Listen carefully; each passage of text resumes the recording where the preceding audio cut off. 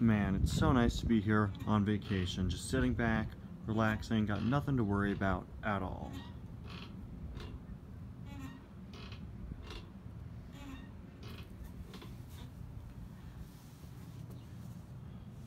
Oh, you gotta be kidding me. Joe Don Jackson here is a pretty rare case of a background Cars character who doesn't really have a car pun jammed into his name somewhere. Although I will say, even though he doesn't have a car pun, Joe Don Jackson is still quite the unique name. He's also a pretty rare case of a car that I can't say I'm that big of a fan of. I don't know, just something about this guy I didn't really like when I first saw the pictures of him uh, on the 2021 poster. I don't know, just something about him I didn't really like. I think it might be the expression or the model, although I will say I'm glad that I recently got and reviewed Jimmy Lugwrench before Joe Don Jackson here, who I did quite like, and he does share Joe Don Jackson's model.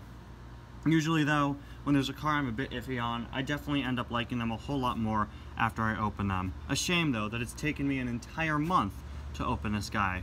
And yes, exactly a month. The day I'm filming this is August 17th, and I got him on July 17th, so I'm sorry, Joe. It's not because I don't like you, I just had a bunch of other videos I had to get done first.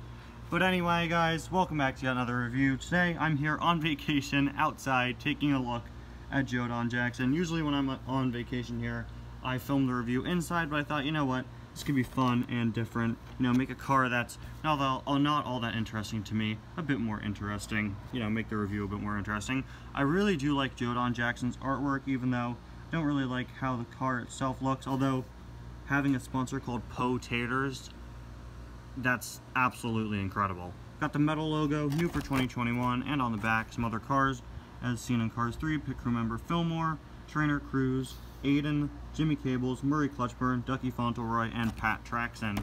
Now, let's get this guy out of the package here. Closer look at him. Of course, since I am on vacation, I don't have any other cars to compare him to. But here he is out of the package, and uh, the roof of the car is weirdly sticky. Uh, it might just be because it's been out here in the heat for a little bit, but like, that's why is that sticky? That is really weird. Definitely got an interesting expression. I think it looks a bit better than I first thought, although I don't really like how small the eye area is, honestly. Got his grill there, Whoop, headlights. Moving on to the side, the Po Taters Garage and Gas logo. Number 7, Southern Special. see, it looks like it says Macon County, Georgia. Mason, maybe it's pronounced. Got that classic Cars Motor Oil logo that we see all over the place. Seems like a bit of a paint blemish next to that, unfortunately. Number 7 there on the roof with Joe Don Jackson written very nicely there. Moving on to the back, we once again have number 7, Southern Special, and this license plate reads A10-195. There is a look at his other side there, just all the same things.